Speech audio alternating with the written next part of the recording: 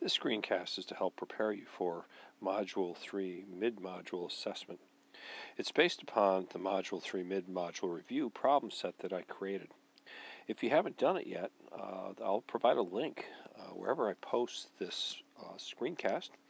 And I recommend that if you have not done that, stop this video, download the PDF file, and give it a shot. Once you're done, you, you can check your work by going uh, back to this video and uh, see how you did. Again, these problems will do, uh, go far in terms of preparing you for your mid-module assessment. The problems are parallel, the numbers are different. The first problem here is Roberto made three batches of maple syrup. The first batch was three quarters of a gallon of maple syrup. The next two batches were one third a gallon each. How much syrup did he make? Draw a diagram to support your answer. Well, this is pretty simple because we start with three quarters of a gallon and then we're going to put together two more batches, two batches of one third of a gallon each. Let's create a tape diagram. We're going to partition this tape diagram into three parts. 3 fourths represents his first batch, 1 third represents his second, and 1 third represents the third. Okay, and now we have to create a bracket and a question mark. And that's our whole. Now we need to find the sum of those numbers. So let's write an expression. So I have 3 fourths plus 1 third plus 1 third.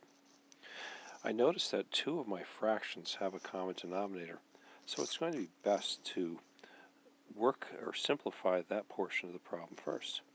So now we have 3 fourths plus 2 thirds. Now there's a number of strategies for finding like denominators. What we have to do is find our common denominator, and whatever procedure we use, we can find that the common denominator is 12. 3 fourths is 9 twelfths. 2 thirds is 8 twelfths. The sum of 9 twelfths and 8 twelfths is 17 twelfths. Uh, we can leave the answer in that form. It might actually be easier to leave it that way. I'm going to simplify it anyway because uh, 17 twelfths equals 12 twelfths plus 5 twelfths equals 1 and 5 twelfths. Now we have the choice of working with 17 twelfths or 1 and 5 twelfths for our next problem. Let's take a look at it and see which is going to work best for us. Okay, uh, let's read this problem. We're going to use information from the previous problem to solve this. Using the syrup he collected, Roberto did some cooking. When he was done, he had two-thirds gallon. How much syrup did he use? Explain your answer using a diagram, numbers, and words. Let's start with our diagram. We know that he originally had 1 and 5 twelfths. We could also uh, express that as 17 twelfths. Alright, when he was done he had 2 thirds. We don't know how much he used. Looking at this tape diagram, it tells us that we need to subtract. Now, we could use any number of approaches here. We could use method 1 or method 2. I'm going to start with method 1. So I'm going to draw my rectangular models. I have one whole, and I'm going to leave it that way.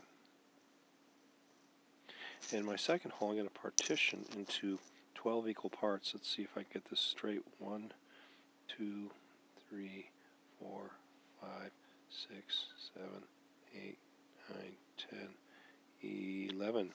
Okay, uh, 11 vertical lines partitions it into 12 equal parts. I'm going to now bracket it into 1 and 5 twelfths. Let's just count this to make sure I have this right. 1, 2, 3, 4, 5. Yep, that's correct. Now I'm going to subtract my 2 thirds from my whole. So I'm going to partition my whole into three equal parts. We'll cross out the 2. What do we have left? Well, in this portion we have 1 third, so I'm going to start my expression with 1 third. And the other part of the expression is going to be what we have left over here in the second rectangle, and that's 5 twelfths.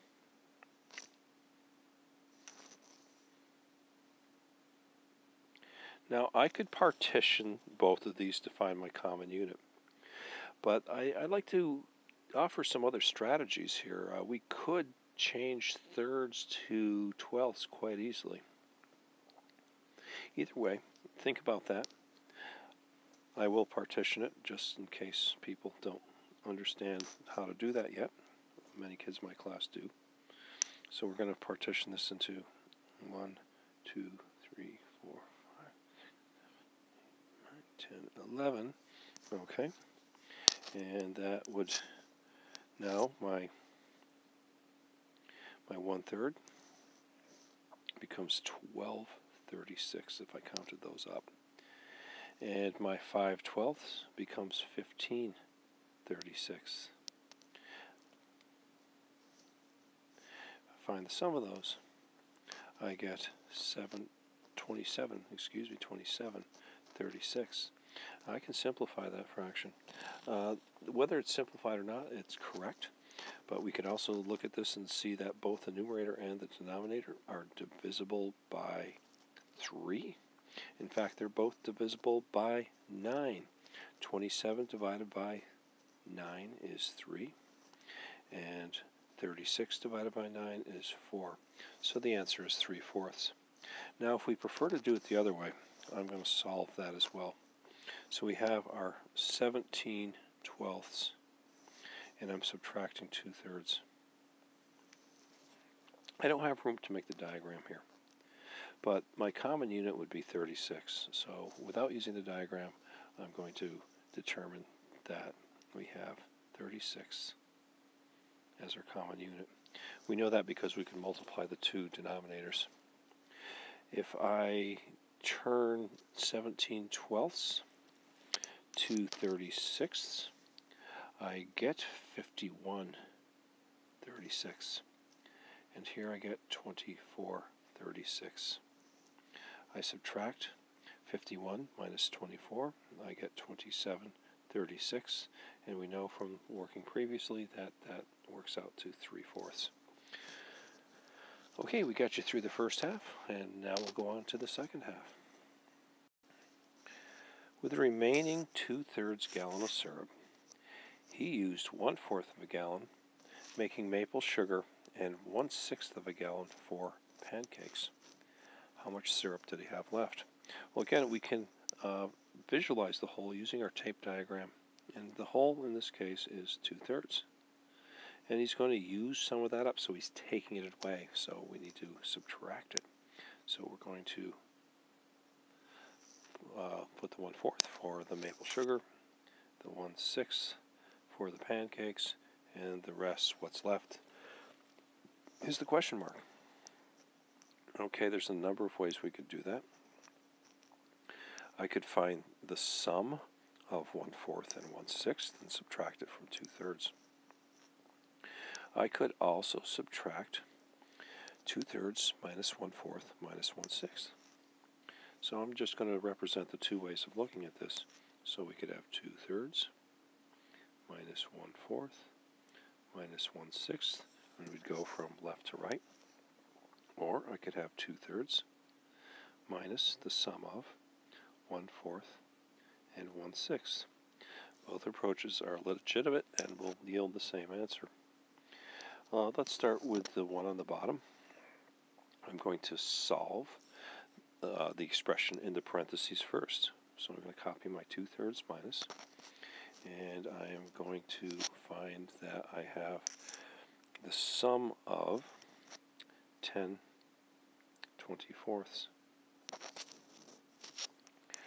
Alright, so we can now find our common denominator here as well. Now we know that uh, 2 thirds can be ch changed to 24ths by multiplying both the numerator and the denominator by 8. So I'm going to have 2 thirds times 8 times 8 minus 10 24ths. I end up with 16 24ths minus 10 24ths equals 6 24ths.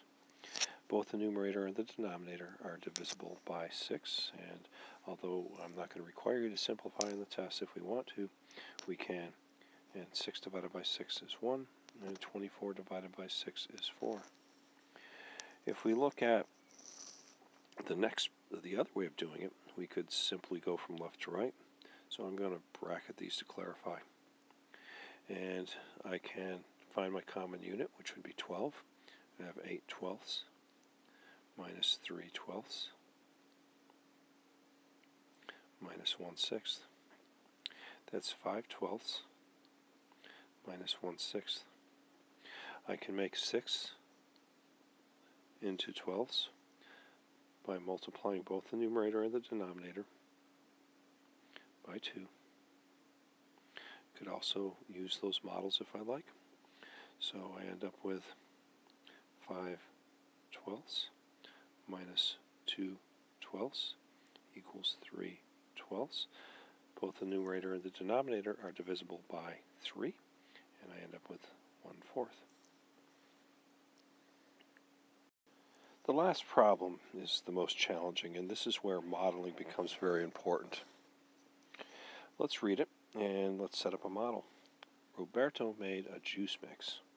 He used one-fourth gallons less cranberry juice than orange juice.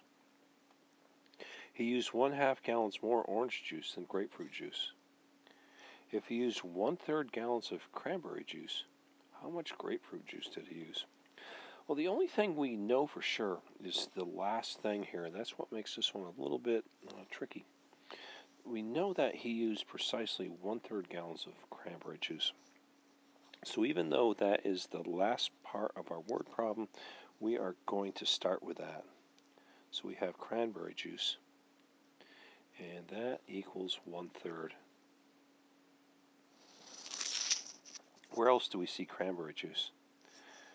Well, again, a little tricky. We see it here in this first sentence. He used one fourth gallons less cranberry juice than orange juice.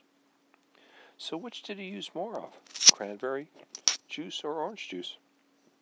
Well, since we use less cranberry juice, we have more orange juice. So we're going to start with our orange juice.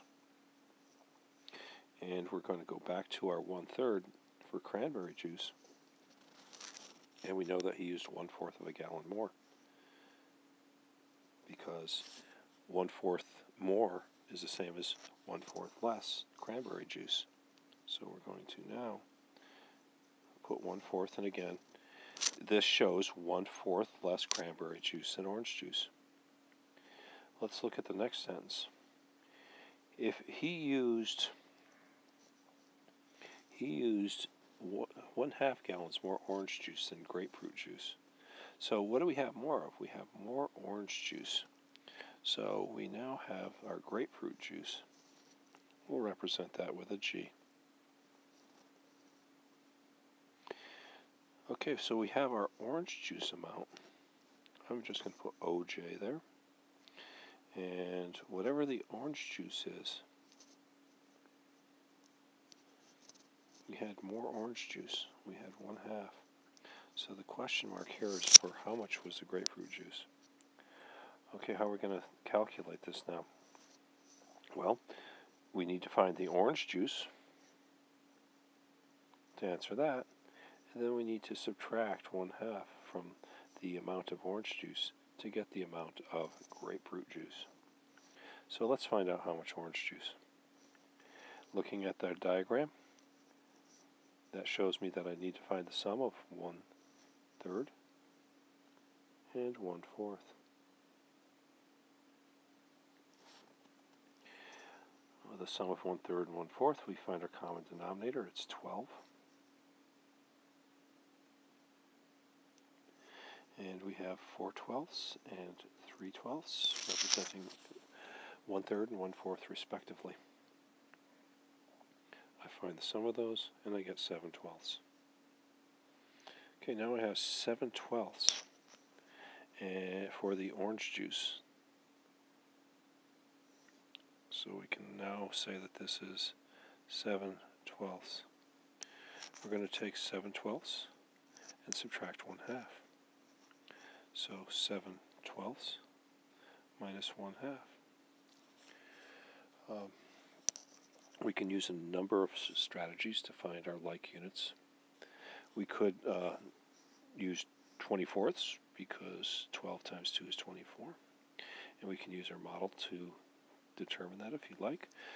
there's other there's other approaches as well. So 7 twelfths is 14 24ths. And 1 half is 12 24ths. We subtract and we get 2 24ths. That answer is acceptable, but we can simplify it because both the numerator and the denominator are even. So 2 divided by 2 is 1, and 24 divided by 2 is 12. So the answer is 1 12th. Hope this helps you. Uh, these problems are very similar to those that you'll see on your assessment. Again, uh, hopefully you have downloaded or been given the practice set and the homework to help prepare you for your mid-module 3 assessment.